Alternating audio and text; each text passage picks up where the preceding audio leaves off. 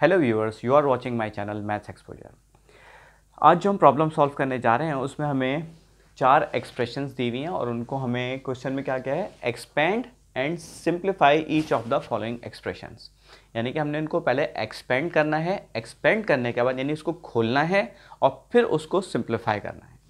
तो पहला हमारा पार्ट क्या है? Five A plus four B minus three C minus two A minus three upon two B plus three upon two C और part B हमारा one upon two times two x plus two times x minus three और part C हमारा two upon five times twelve P minus five plus two P और part D है हमारा one upon two times eight x plus ten minus six times one minus four x so let's move forward to solve our part A तो पहले तो हम लिखेंगे solution अपना। Solution के बाद हम इस क्वेश्चन को एज इट इज़ उतारते हैं हमेशा।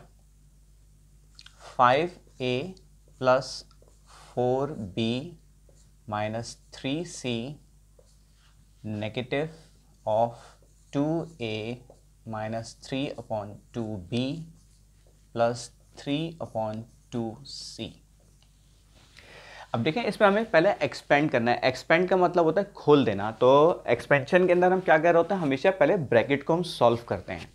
तो दिस इम्प्लाइज दैट तो सबसे पहला जो हम ऑपरेशन करेंगे, वो हम इस राउंड ब्रैकेट को हम इसके इसको ओपन करेंगे ताकि पूरी जो एक्सप्रेशन है वो एक्सपेंड हो जाए।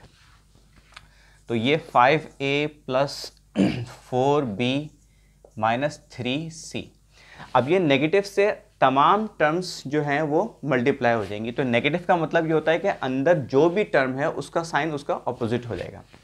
तो ये प्लस में है तो माइनस से जब ये मल्टीप्लाई होगा माइनस इंटू प्लस क्या होता है? माइनस आ जाएगा।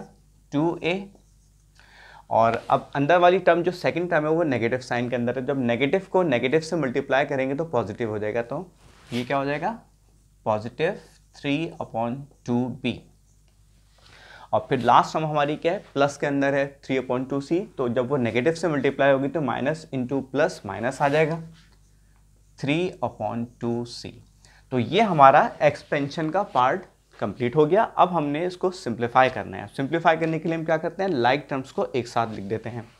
तो लाइक like टर्म्स हमारे पास कौन कौन सी हैं?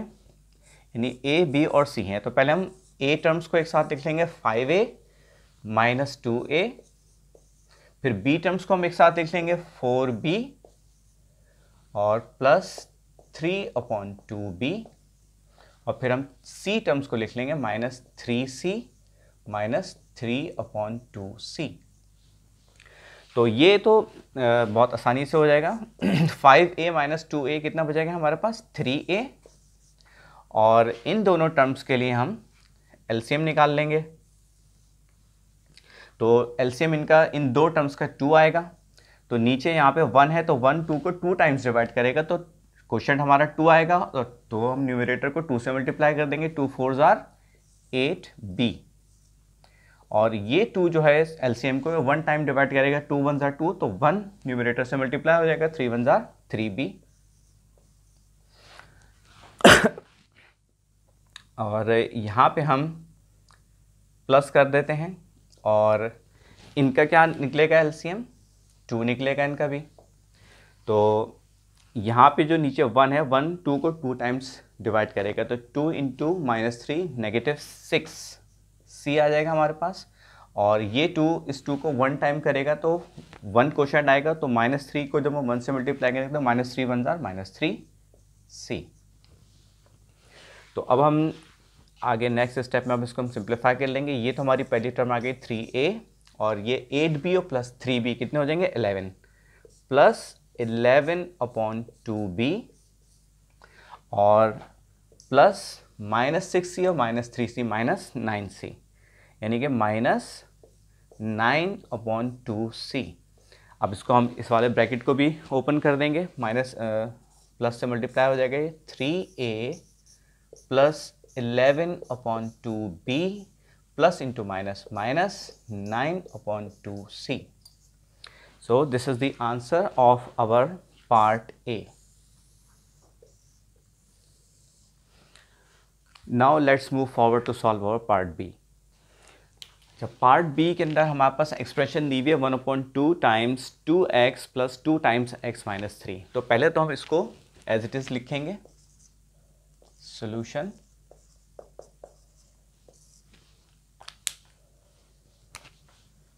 one upon two times two x plus two times x minus three.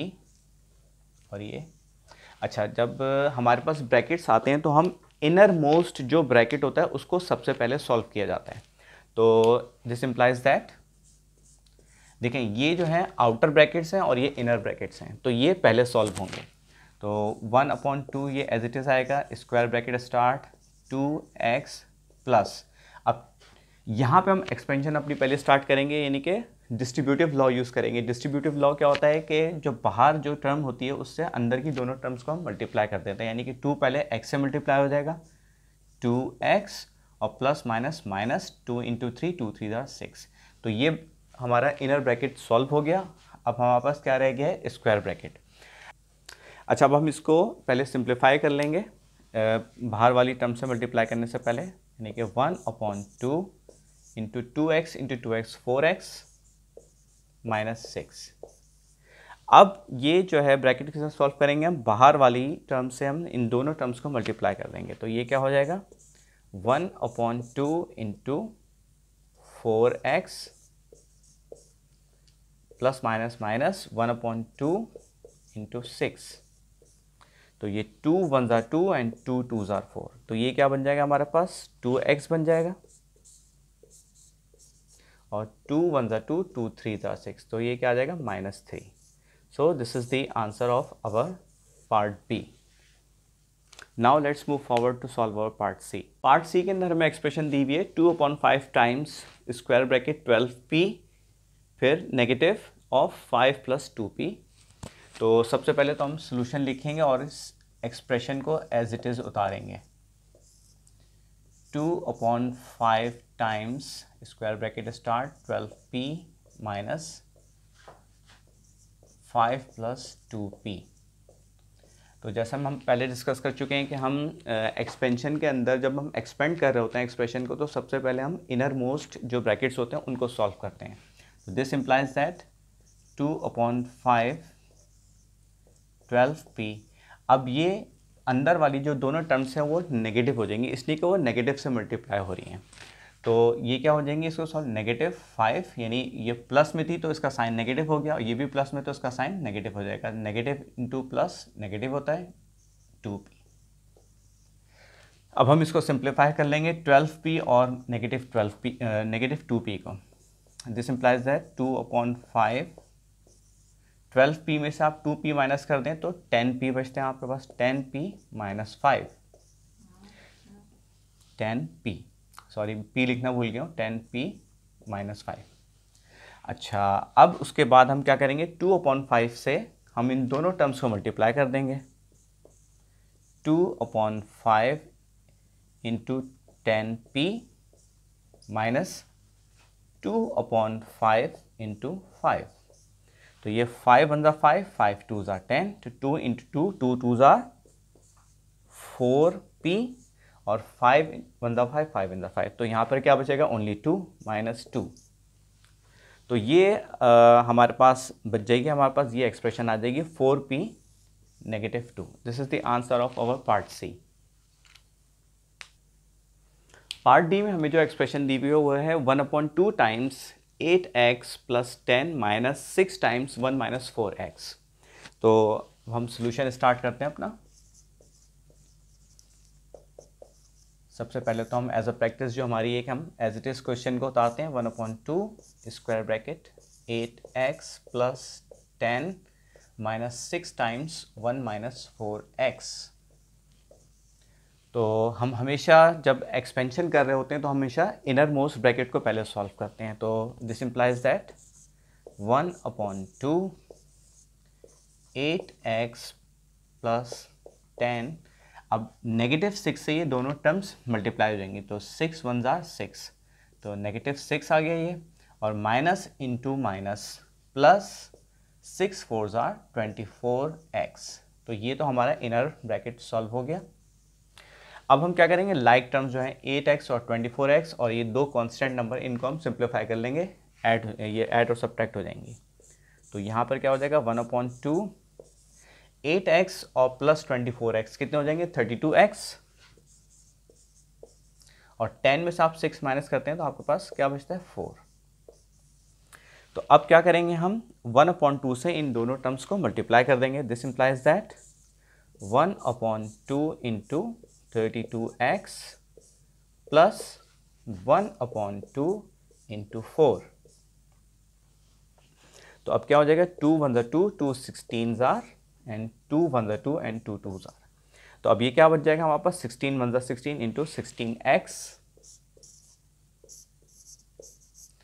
two one ज़ा two so this is the answer of our part D उम्मीद करता हूँ आपको ये वीडियो पसंद आई होगी तो प्लीज़ इस वीडियो को लाइक कीजिएगा और अगर अब तक आपने मेरे चैनल को सब्सक्राइब नहीं किया है तो प्लीज़ सब्सक्राइब कीजिए और बेल आइकॉन के बटन को ज़रूर प्रेस कीजिएगा, क्योंकि जब भी मैं कोई नई वीडियो अपलोड करूँगा तो आपको उसका नोटिफिकेशन मिल जाएगा।